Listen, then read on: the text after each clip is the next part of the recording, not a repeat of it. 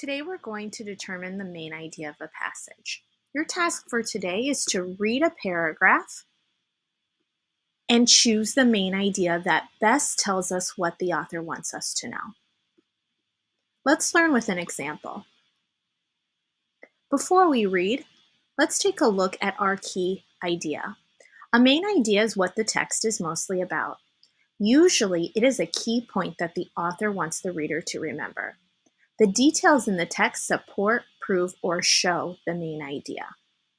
And we know that the best way to find the main idea is by asking two questions. The first question is Who or what is this about? That's my topic. And then my second question is What does the author want me to know about the topic? Let's go ahead and look at our example. Before I read, I want to look at the picture and the title to help me think about what this could be about. I see a picture of a woman here, and then I see a woman of firsts. I'm going to make a prediction that this might be about whoever this woman is. Let's go ahead and read together. Ellen Johnson Sirleaf was the first woman to be elected as the leader of an African country. As president of Liberia, she made huge improvements in people's lives. Before Johnson Sirleaf became president in 2005, Liberia was in debt and most people didn't have jobs. The country had also been divided by a long war. After Johnson Sirleaf entered office, she asked other countries for help with the debt. She made it possible for more girls to go to school.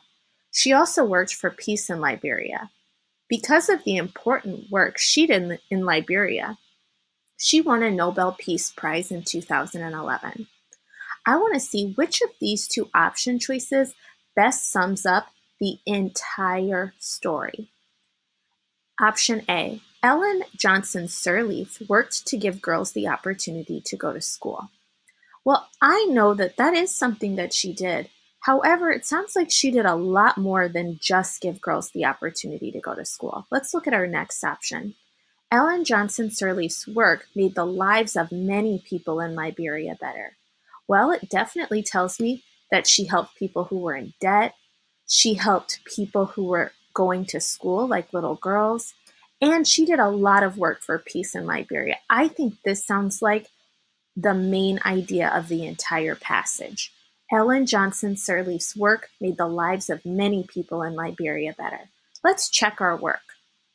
Down here we see our solution. It reads that the main idea of the passage is Ellen Johnson Sirleaf's work made the lives of many people in Liberia better. Some of the details are about how Johnson Sirleaf helped Liberia to get out of debt. Other details are about how Johnson Sirleaf helped bring peace and helped more girls go to school.